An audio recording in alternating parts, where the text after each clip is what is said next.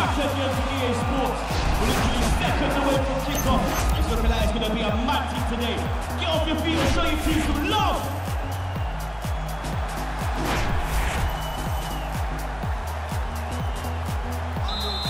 Allez.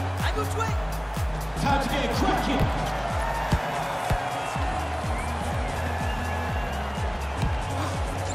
Build-up with a leading goal.